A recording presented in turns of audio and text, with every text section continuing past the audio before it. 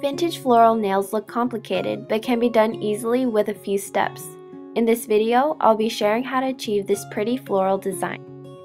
To begin, apply a clear base coat to strengthen your nails and prevent them from staining. Paint a black polish on your thumb and ring fingers when your base coat has dried. Then paint the rest of your nails. It's best if you use a colored polish that you would like your flowers to be.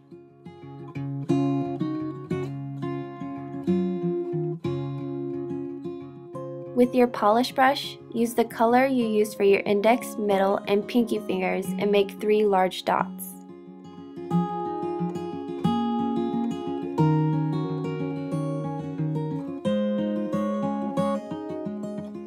Next you'll need a lighter colored polish and a dotting tool to define the flowers. If you don't own a dotting tool, you can use a mechanical pencil like I did. Toothpicks and very thin paintbrushes work just as well. Create two curved lines opposite each other on each flower and a dot or two in the middle.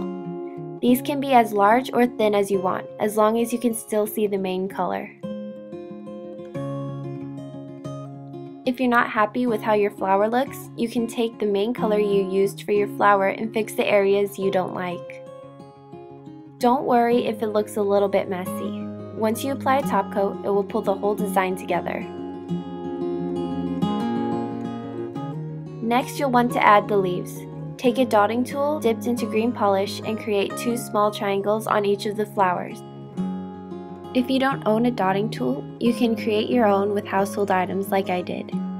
Start your leaf on the edge, pulling slightly down and then away from the flower. As you pull away, lift up the dotting tool gradually. This will create a nice little point on each of your leaves.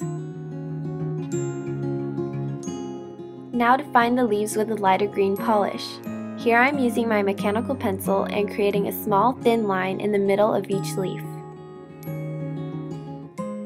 These lines look best if you start from the edge of the flower and pull away towards the pointed end of the leaf.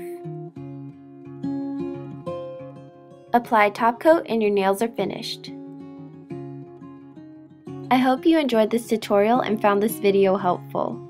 If you choose to recreate this design, share it with me on Instagram, Facebook, Twitter, or Tumblr.